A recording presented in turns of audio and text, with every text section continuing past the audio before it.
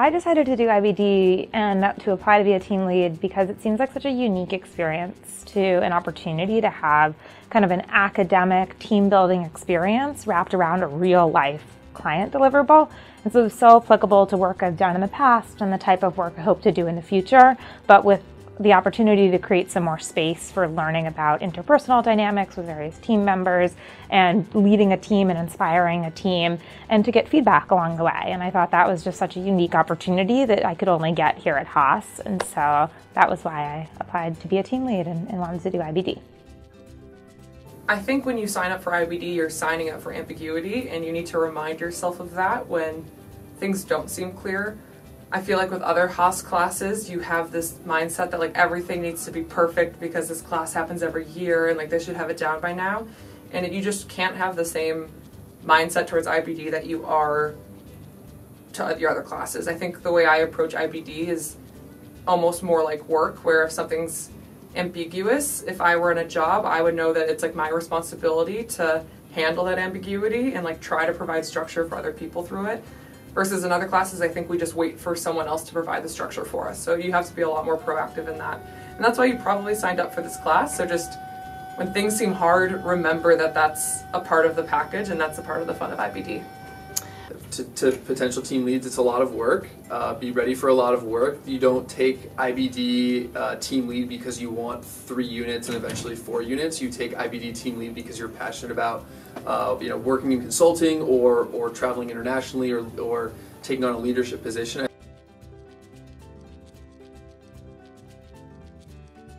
I think one of the hardest parts is we're working, our client is really excited about bringing in design thinking and innovation and uh, agile processes and development and all these buzzwords of the day that I'm excited about too. Uh, but it's as new as it is to them as it is to everyone on our team. And so not only are we figuring out what to do together, but we're figuring out what software we need in order to figure out together. We're figuring what the level of rigor we need to be doing our research on at different stages. of all of maybe what we'd spend 10 weeks researching on a different thing, we're trying to do it in like quick two weeks and then we like innovate around it and then two weeks and we ideate and none of us have really worked in that context before. And I think they come from a more traditional way of thinking and they're excited to push themselves, but none of us really know what it looks like and what to expect of each other in this, which has been interesting. Like, nothing's gone wrong, but it's been interesting to realize we're both doing something we don't really know how to do. The we have a really unique project, and I think every project has some level of ambiguity, but I think that none of us felt a real confident in our specific domain expertise for what we're being asked to do.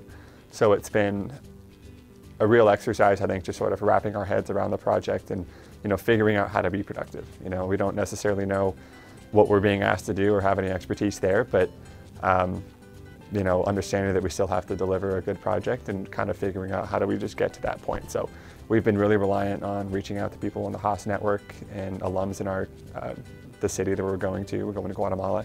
Um, and the more we reach out to people, we're starting to continually make some steady progress. Uh, but just sort of figuring out how to get the ball rolling and start to make progress, I think has been a big challenge. Particularly being there is going to be a huge part of, of us being successful in our project. I underestimated just how much time and effort we would need to get our feet wet and really understand the space. Um, when I've done consulting projects before, they've often been with managers who already have a knowledge of the industry or the organization.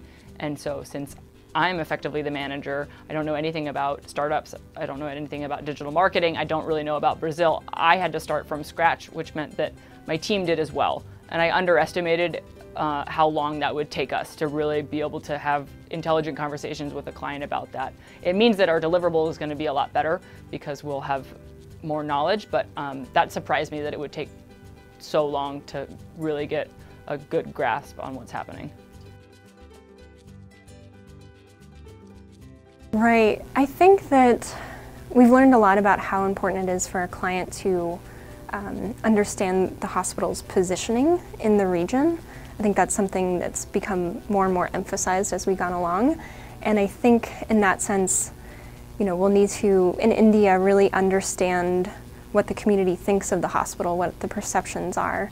I think that can be quite daunting because we have never been to this region of the country. Some of us have not been to this country before.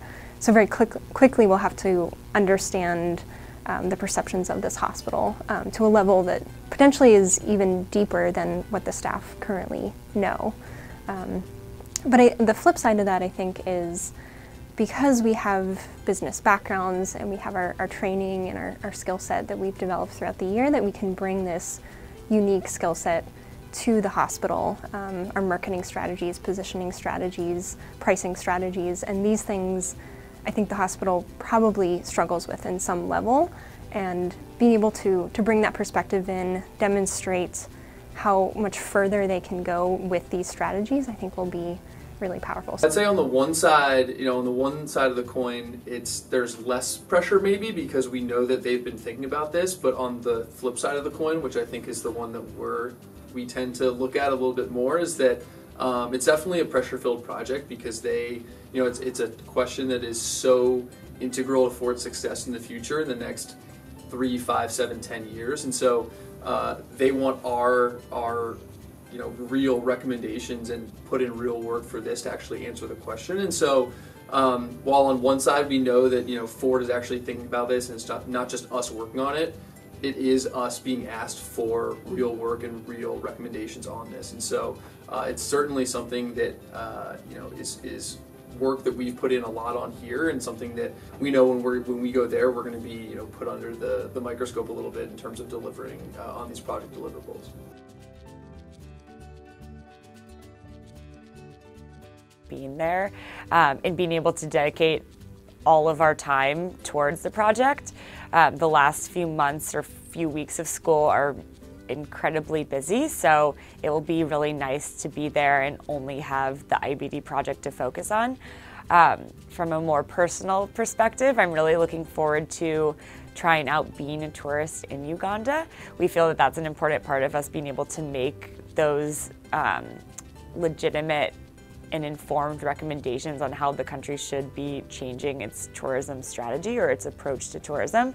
So our team is planning on doing at least two different weekend trips around Uganda to experience what it's like to be a tourist there firsthand. For myself, over the next couple weeks, um, stay sane. Don't don't uh, don't get too stressed. That's certainly a goal before we leave. I think um, you know, I'm really focused on just producing producing something that's worthwhile for our client in the end. That's really important to me, um, not from just a personal perspective, but as a representative of the school. So, um, very focused on the specific output, but I think once we get in country, I'm very focused on um, providing a great experience for my teammates and making sure that they get what they want out of this experience, whether it's the travel, the cultural experience, the professional experience. Um, I want to make sure that my team actually uh, checks off what they feel they had on their list at the beginning of the semester.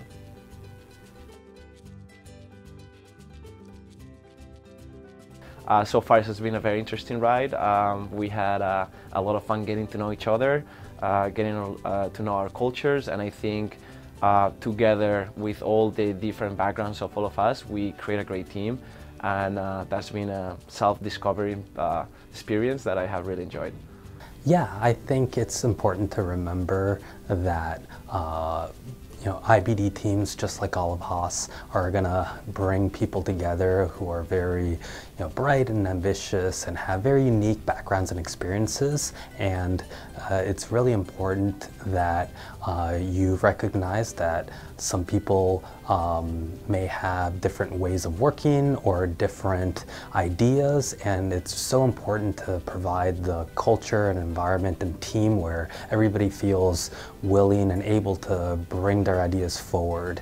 And whether that's providing an opportunity for people to speak up or even asking people who you feel haven't been um, speaking up as much, um, encouraging them to, to voice their opinions, and that can all bring together really the, the best of, of everybody's experiences and provide this uh, team that's really well rounded and that brings together their own backgrounds and experiences. Um, our team and how well we mesh together and how well we complement each other I don't know if that was our team leads like how well she knew us all and how well she knew like how well we fit together. But yeah, I'm just like blown away by it. And, and you know, when we were talking about how to split up tasks and everything, like we all have different skill sets. We all work really well together. We're all direct enough in terms of communication. We all have the same communication style. It's like just working out, I think, really well.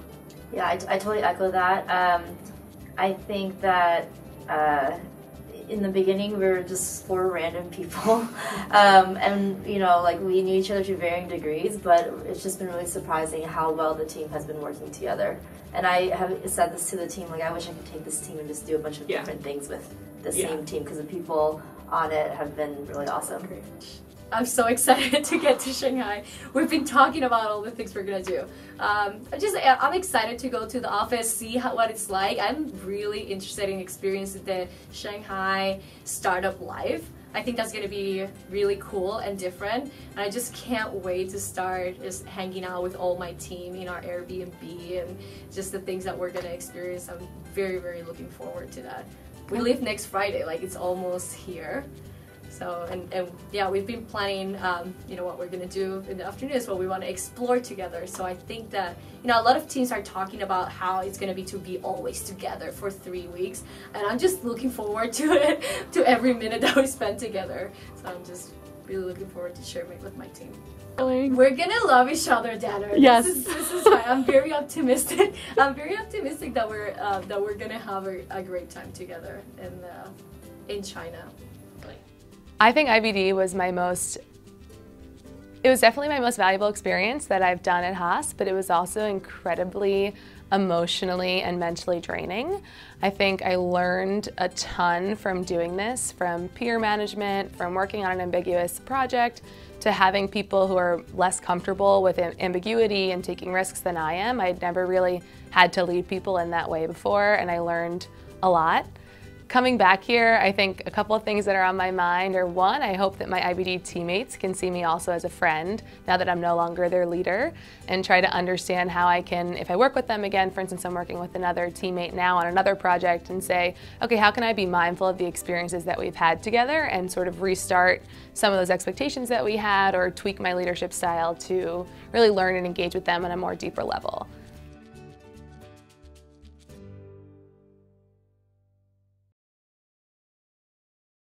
I'm surprised at about two things. One, how much have we been able to accomplish in the little time that we've had together. Basically, our team members joined right before spring break, and it's been about, I think, less than a month after spring break, and we've really advanced a lot in the in the past couple of weeks. And like I said yesterday, the client actually commented that their team is already starting to look at some of the recommendations we provided. Um, at the same time, I'm surprised that um, our recommendations, how seriously our client is taking our recommendations. Uh, these are things that are being uh, spoken with the CEO and like C, C-suite uh, board members, and um, it, it's like you feel like you're really having an impact on what this organization is going to do in the next couple of years. So it is very exciting, and, and surprisingly, I, I didn't expect that they would trust uh, MBA students.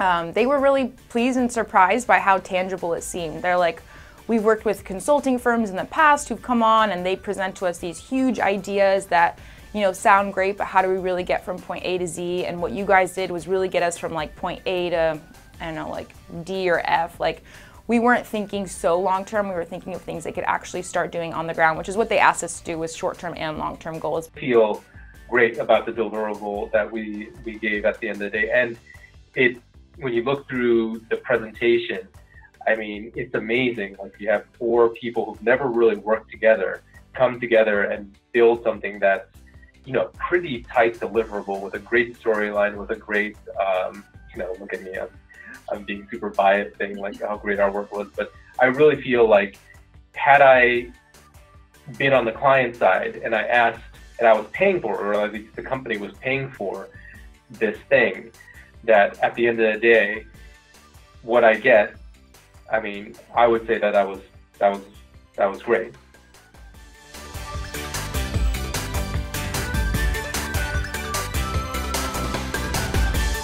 It went well. I mean, we spent the first week on literally a tropical remote island with very limited, I'd say, dare no Wi-Fi and spotty electricity and running water. So you get to know your teammates really well, maybe a little too well. And towards the end, there was a bit of island fever, but I definitely feel like I got a really strong bond with my teammates. And I'd say it's safe to say that we're going to be friends for a very long time after this experience. Uh, I had never been to Africa, so didn't really know what to expect. Heard a lot of great things. Um, Kenya was amazing. I remember landing and everything was green and it was so beautiful. Um, and it was definitely a different type of system than ours. Like there were a lot more dirt roads than, well, they were both dirt and paved roads, but you had cows walking on the freeway.